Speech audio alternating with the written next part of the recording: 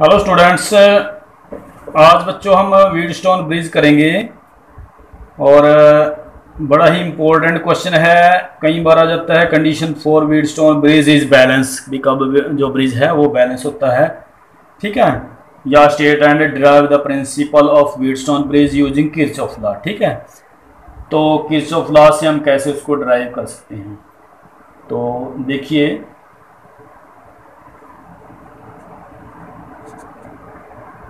Wheatstone bridge तो Wheatstone bridge क्या है बच्चों? एक ब्रिज है इलेक्ट्रिकली अरेंजमेंट करी होती है which form the basis of instrument use to determine an unknown resistance भाई, किसी भी अननाउन रेजिस्टेंस को निकालने के लिए, ठीक है? ये याद रखना आपने to determine unknown resistance unknown resistance निकालने के लिए हम विडस्टोन ब्रिज का यूज़ करते हैं, ठीक है? तो इसमें देखिए बच्चों, क्या है? हमारे पास ये हमारा इस तरह का सर्किट डायग्राम है।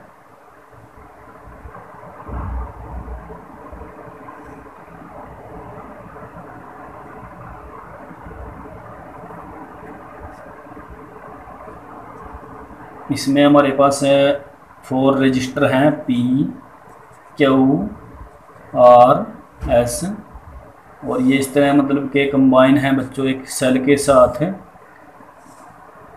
ठीक है? तो ये ई एम एफ़ है।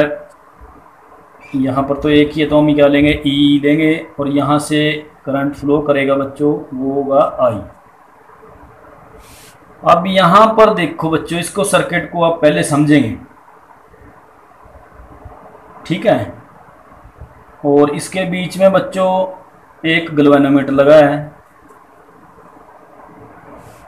पॉइंट भी हम देखो, इसके रख देते हैं ए बी सी टी हमारा एक क्लोज सर्किट बन जाता है। तो करंट यहाँ से फ्लो करेगा और ये डायरेक्शन इसकी, ठीक है, वापस यहाँ आ जाएगा। तो इसमें क्या है बच्चों, देखिए। यहाँ से हम चलते हैं।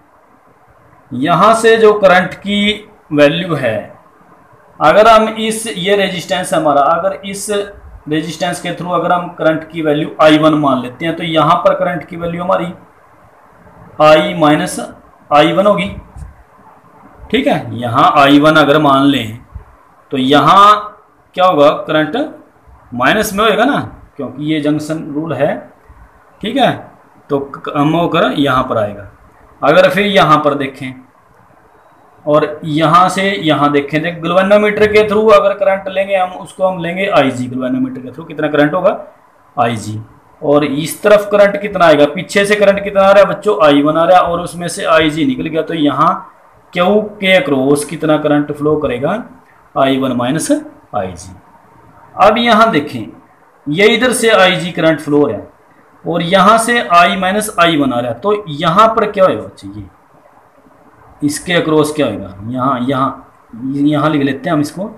तो ये देखो, ये दोनों प्लस हो जाएँगे। ये जंक्शन है ना, जो मैंने बताया था फ़र्स्ट ला था हमारा, ये जो करंट आ रहा है वो प्लस में होंगे। तो ये कितना हो गया? I minus I one plus I G ये करंट हमारा एस के थ्रू जाएगा, जो एस रेजिस्टेंस है, ठीक है? समझ में आया यहाँ तक? तो अब देखिए इसको करते हैं, पहले हम अप्लाई करेंगे बच्चों यहाँ पर किरचॉफ सेकंड लॉ ठीक है? सेकंड लॉ तो सबसे पहले हम लूप लेंगे बच्चों, ये अगर हम लूप लेते हैं ए बी डी ए तो ए बी डी ए अगर हम लूप लेते हैं तो यहाँ से हमारे देखिए चेंज इन जो पोटेंशियल हमारा वो क्या होगा? ज़ीरो के इक्वल आएगा ना? तो यहाँ पर पोटेंशियल कितना है? आई वन पी है। पोटेंशियल का मतलब क्या होता है? प्रोडक्ट ऑफ़ द रेजिस्टेंस और करंट ठीक है? तो यहाँ पर करंट की वैल्यू आई वन है रेजिस्टेंस कितना है? पी है। अब इस तरफ़ जाएँगे, देखो करंट की डायरेक्शन सेम है, उसी डायरेक्शन में तो हमारा ये प्लस की वैल्यू है। अब ये इस डायरेक्शन में करंट जा रहा तो ये भी हमारा क्या आएगा? ये भी प्लस में आएगा। अब हम इस तरफ़ जा रहे हैं। ए बी ए से बी की तरफ़ गए बी से बी की तरफ़ गए डी से ए की तरफ़ जाएँगे। तो जब डी से ए की तरफ़ जाएँगे तो हमारी करंट की डायरेक्शन अपोजिट हो जाती है तो हम क्या लेंगे? यहाँ माइनस लेंगे। तो आई माइनस आई वन और इंटू आर और ये हमारा क्या आ जाएगा? ज़ीरो ठीक है? मैंने वहाँ पर बताया था ना change in potential change in potential equal to zero ठीक है? दोनों तीनों तरीके मैंने सेकंड ला के आपको बताए थे, ठीक है? तो अगर आपने पिछली वीडियो नहीं देखी है बच्चों तो डिस्क्रिप्शन में मैं इसका लिंक दूँगा तो आप बच्चे इसको जाकर ज़रूर देखें। फ़र्स्ट ला को या सेकंड ला को किरचॉफ के ठीक है? आसानी हो जाएगी आपको वेट स्टोन ब्रिज समझने में। और बच्चों चैनल को सब्सक्राइब ज़रूर करें। देखिए, अब हम सेकंड लूप लेते हैं, ठीक है? सेकंड लूप क्या है हमारा? N B C D B ठीक है? तो पहले हमने ये लिया था लूप ए बी डी अब ये लूप लेंगे। तो यहाँ से अगर हम चलें बच्चों बी से सी पर गए तो यहाँ पर करंट की वैल्यू कितनी है? I one minus I G into resistance कितना? क्यों फिर ये देखो, अब हम इस तरफ़ चल रहे हैं तो करंट की डायरेक्शन अपोजिट है तो हम माइनस लेंगे। तो I minus I one plus I G और इंटू रेजिस्टेंस कितना है? एस अब यहाँ जाएँगे, ये भी करंट की डायरेक्शन अपोजिट है तो ये कितना हो गया? I G G equal to zero ठीक है बच्चों? हमारे पास दो इक्वेशन होगी फ़र्स्ट और ये होगी सेकंड तो इसके बाद हम देखिए, इनको सोल्व करेंगे। दोनों इक्वेशन को उससे पहले हम, हमारी ये कंडीशन है बच्चों। अगर हम देखिए, इस सर्किट को इस तरह एडजस्ट करें हम, जो आर की वैल्यू है, जैसे रेजिस्टेंस है, अगर हम उसको इस तरह एडजस्ट करें कि हमारा जो बी पॉइंट है और हमारा डी पॉइंट है, वो सेम पोटेंशियल पॉइंट ठीक है? समझ रहे ना? If B and D point are at same potential मैंने पहले बताया था सेम पोटेंशियल भाई सेम पोटेंशियल पर अगर होंगे, ये दोनों पॉइंट है। ठीक है तो ये जो बीच में करंट कितना फ्लो कर रहा है आई जी करंट तो ये करंट फ्लो नहीं करेगा, ये क्या हो जाएगा? ज़ीरो के इक्वल होएगा। क्यों? क्योंकि भाई करंट फ्लो करता है higher potential to lower potential ठीक है? तो जब यहाँ पोटेंशियल ही बराबर है तो ये हमारा इसको वायर को लगाने का कोई फ़ायदा नहीं है, ठीक है? समझ रहे हैं? ये यूजलेस हो जाती है, क्योंकि आईजी की करंट की वैल्यू क्या है? हमारी ज़ीरो अब यही करंट की वैल्यू हम क्या रखेंगे? फ़र्स्ट इक्वेशन और सेकंड इक्वेशन में रखेंगे बच्चों। तो अगर हम पहली इक्वेशन में रखते हैं तो हमारा क्या आ जाएगा? आई वन पी ये हमारा सारा ज़ीरो गया। तो minus I minus I one और आर इक्वल टू ज़ीरो मतलब यहाँ से इक्वेशन हमारी क्या आ जाएगी? I one P is equal to I minus I one और इंटू आर ठीक है? ये आ गया हमारी थर्ड इक्वेशन ठीक है बच्चों? उसके बाद आगे यहाँ रखेंगे, देखिए। सेकंड इक्वेशन में आई जी ये ज़ीरो जाए तो आई वन क्यू आ गया हमारा।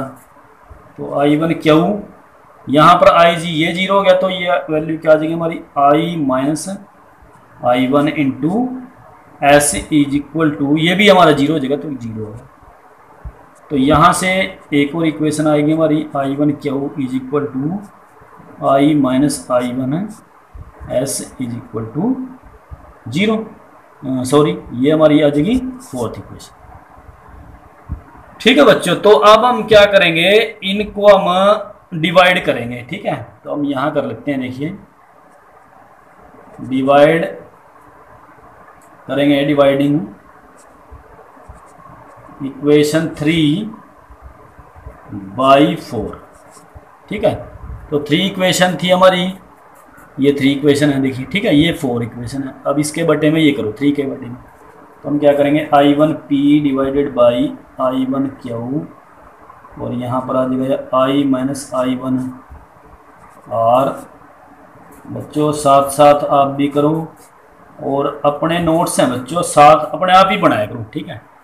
क्योंकि खुद के अगर हम नोट्स बनाते हैं तो हमारा जो इजी हो जाता है कोई भी क्वेश्चन को लर्न करना, ठीक है?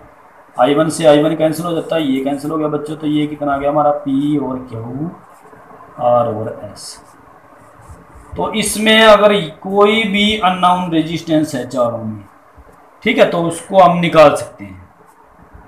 ये फार्मूला लगाकर, क्योंकि ये दोनों क्या होंगे, एक दूसरे के इक्वल होंगे। समझ रहे कि नहीं? तो ये था बच्चों वीडस्टोन ब्रिज और बड़ा ही